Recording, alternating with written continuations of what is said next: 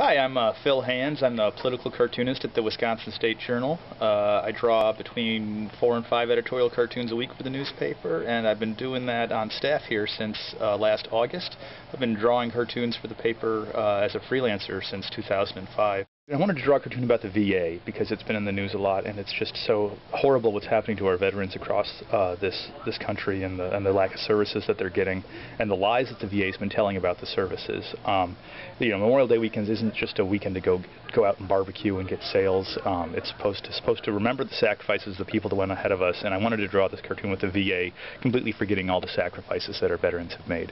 Well, I'm trying to add is I'm trying to add color to the, the image and make it pop. Um, color really makes makes everything shine a lot uh, more more interestingly than just a black and white image does.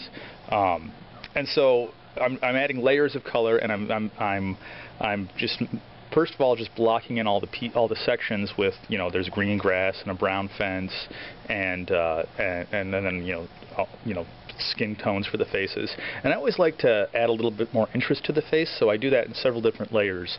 I'll do just a, like either a peach or a dark tone for the flesh uh, of the skin, and then I'll go in and add a couple of different layers of, of interest and texture uh, so that it looks a little bit more uh, kind of like a watercolor painting is what I'm trying to capture with it when I do a face. And I just try and do that for the faces because I want to make those really interesting to look at. Um, and then after I get all the colors blocked in, I go in with a with a really dark color, um, like a really dark blue blue, and I use those for all my shadows.